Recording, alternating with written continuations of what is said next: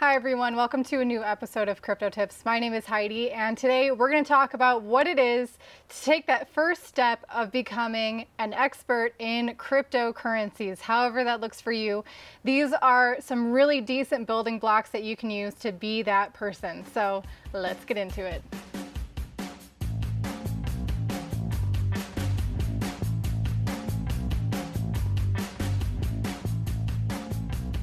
So the cool thing about cryptocurrencies and how they function and what actually sets them apart from that fiat currency system, the legacy financial system, is that everything that happens on the blockchain is publicly viewable. It's why it's called pseudo-anonymous for nearly every cryptocurrency apart from the very few that are actually designed specifically to be privacy coins. Now, because of this, for those of us, like hopefully you're like me and you like to protect your privacy online, especially when you're dealing with what, you know, your value, your wealth, what you're doing with your money, you want to protect that. Knowing that information helps you understand how you can further protect your privacy. There's a lot of tools to do it. It's absolutely uh, possible to protect your privacy and interact with things like Bitcoin and other cryptocurrencies. If you haven't joined our CT Club yet, that's our paid membership group, a link to that is down below in the video description. And with that membership comes access to a multitude of different classes spanning over an hour long. Um, it's exclusive access to those members, but one of those classes involves privacy both online and within the cryptocurrency space how to protect it. So if you're interested, I highly recommend you check that out. You can also use this information, also known as on-chain data, basically what is happening on chain on the blockchain. That's what makes it publicly viewable. That's what makes it immutable. Um, and so you know exactly what's happening. You can use that information to be a much more educated and intuitive and just an all around better investor. You can understand the trends as they're happening.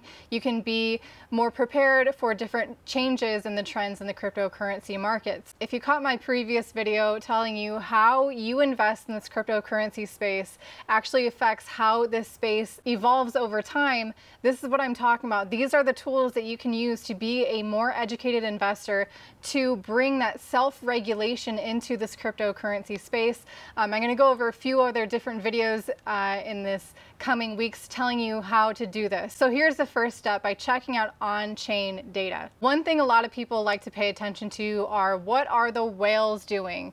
People who own a very, very large amount of cryptocurrency, be it Bitcoin, Ethereum, what have you, what are they doing with their funds? Are they taking those funds out of their cold storage and onto an exchange, maybe in preparation to make some trades to sell those coins?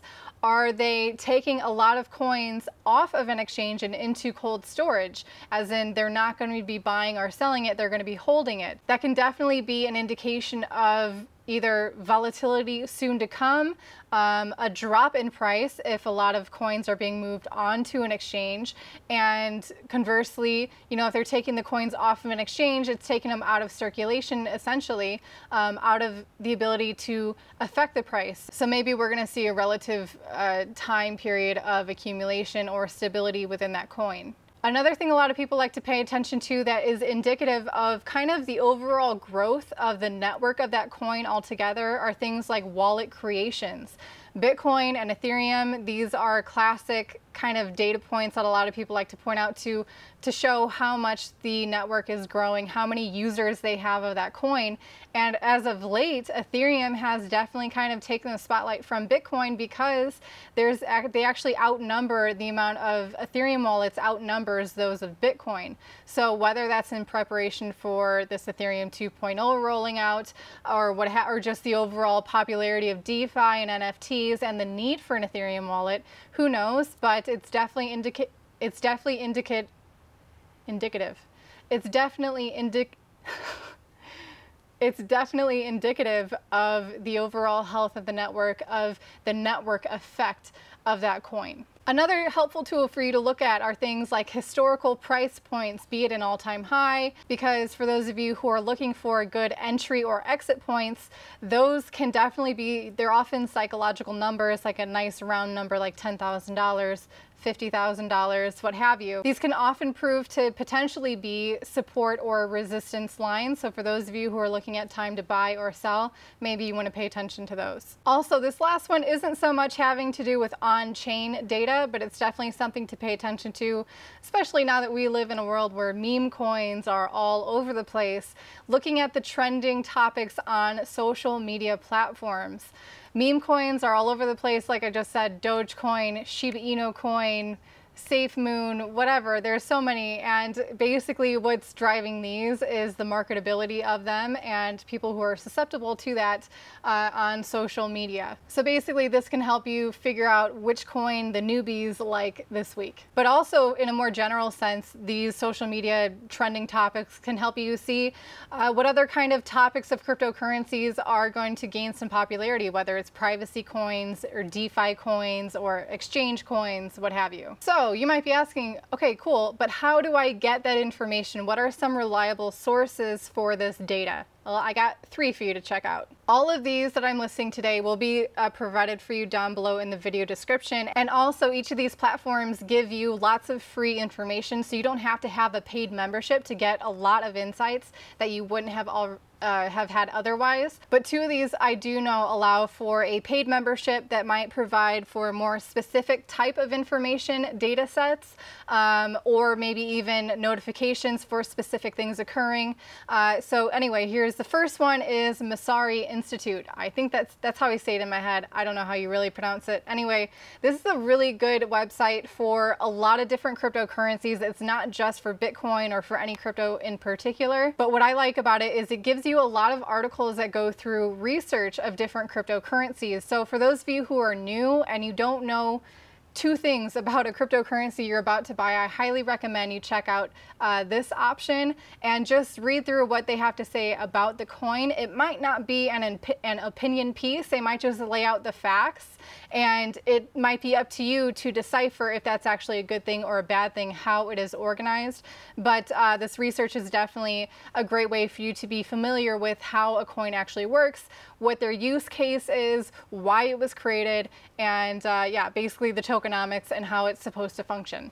Also right there on the front page, it gives you updates on what's happening on different networks. For example, I'm on their page right now and we have the software release of Lotus version 1.10 for Filecoin.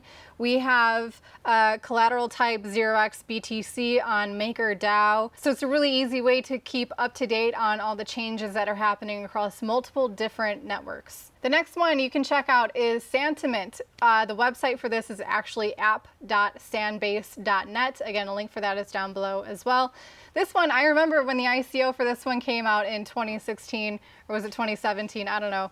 Uh, anyway, it's pretty cool. It's a data aggregator for all things happening on chain. Again, this one is not specific to Bitcoin, but for a lot of different cryptocurrencies as well. This one helps you track what's trending across multiple different social media uh, websites, you know, not just what's happening on Google. Also, I believe if you have a paid membership on this one, you can have the alerts set up. So in case something like old coins are being moved or a whale is moving coins onto an exchange or something like this, or different price points are happening on different coins, you can set an alert and uh, you can take action however you plan to do so. Also, much like Messari, uh, sanbase.net, that one functions with a lot of uh, contributions from a lot of different people, so it's definitely more of a community effort.